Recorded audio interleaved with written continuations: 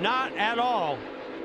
Ryan Newman off turn four for the final time. Blaney to the oh! outside, oh. to the inside. Here comes Hamlin up the outside. Wow. Crash into the wall, into the air up. goes Newman. Upside down. In a shower of sparks on his roof.